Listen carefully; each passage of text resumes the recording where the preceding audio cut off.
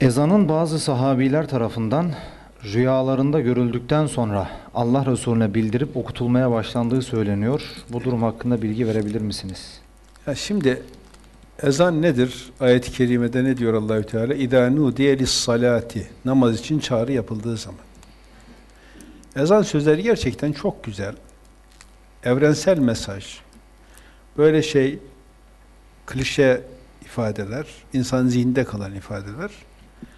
Resulullah sallallahu aleyhi ve sellemin de onayından geçmiş olan bir ifadedir. Bu Allahü Teala da çağrı yapıldığı zaman dediğine göre o zaman çağrı da bu kelimelerle yapılıyor. Demek ki Kur'an-ı Kerim'in onayladığı bir durumdur.